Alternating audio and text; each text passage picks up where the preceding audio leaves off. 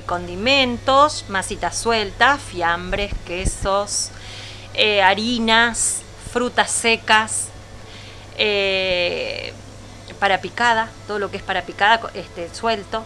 Hay bastante cositas, manteca, lácteos, de dentro de los lácteos tenés la manteca, los quesos crema, tenemos mucha variedad.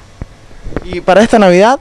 Y para esta Navidad, como todos los años, vas a encontrar todo lo que se necesita para hacer los budines y los pan dulces caseros.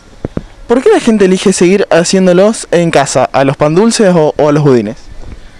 Yo supongo eh, que porque no tienen conservantes, porque es más natural, es más sano, vos lo haces a tu gusto. Por ejemplo, en la familia seguramente hay alguien que no le gusta la fruta, entonces, bueno, haces algunos pan dulces o algunos budines con fruta y otros los haces con, chocolate y nuez, sin la fruta glaciada o escurrida. Eh, y es más rico. No hay nada mejor que algo hecho en casa. ¿Y para eso qué tenemos? Bueno, para eso tenemos todo lo que es frutas secas, nueces, almendras, castañas, avellanas, eh, pistachos. Después vienen unos mix hay tres clases de mix que depende la, variedad de frutas, varía los precios y están muy completos. Y después tenemos todo lo que es este, fruta escurrida y fruta glaciada. La fruta escurrida que sería toda la que es cortadita y la entera glaciada que viene todo con azúcar arriba. Para elegir.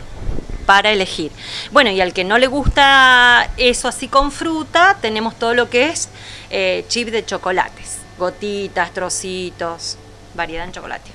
Estamos viendo que tenemos mucha variedad en harinas también.